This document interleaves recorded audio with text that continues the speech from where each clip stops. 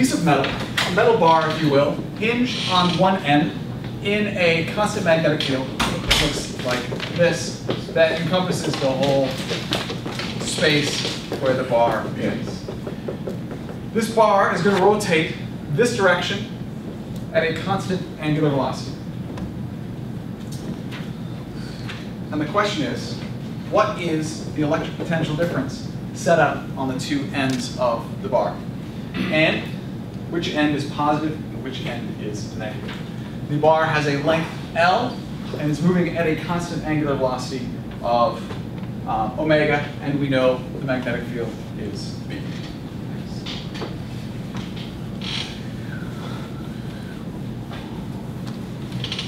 First off, let's figure out the positives and negatives. We've already determined that one end is going to be positive, one end is going to be negative. We just need to know which one is which.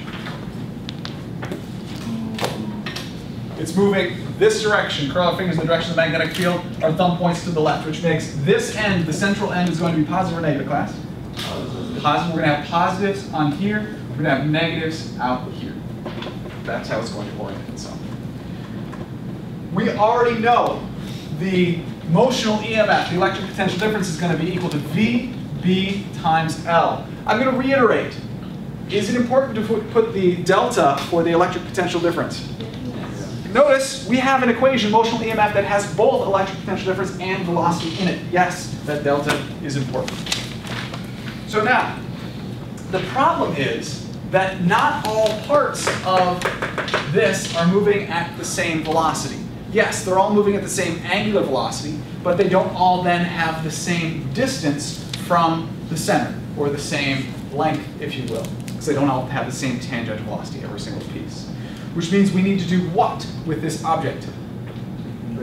Break it into infin an infinite number of infinitesimally small pieces, which all have a width dr and are all a distance r from the middle. So what we know is, if you will, dE is equal to b times the velocity times dr. And we need to take the integral of the whole thing. So the EMF is going to be equal to the integral of B times the velocity times dr.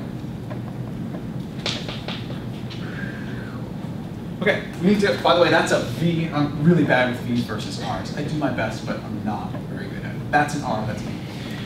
Okay, so we need to take the integral here. What can we or can we not take out? Emily?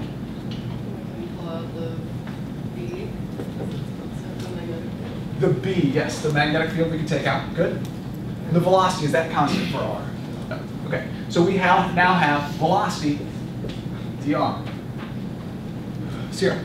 Um, can we replace that velocity with r omega? Because omega is constant, we can pull that out, and then since it's as respect to dr, we can take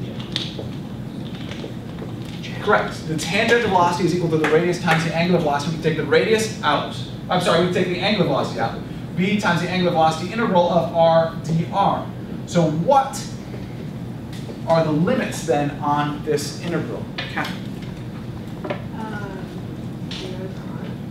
Actually not 0 to r. r is the definition of the distance from the center to where dr is. Oh, 0 to L? 0 to L, which is going to be the, the whole uh, range for our, our r, if you will. So we have then uh, b omega r squared over 2 from 0 to L.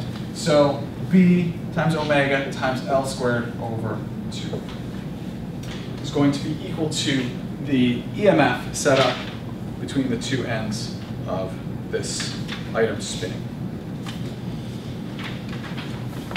in a constant magnetic field.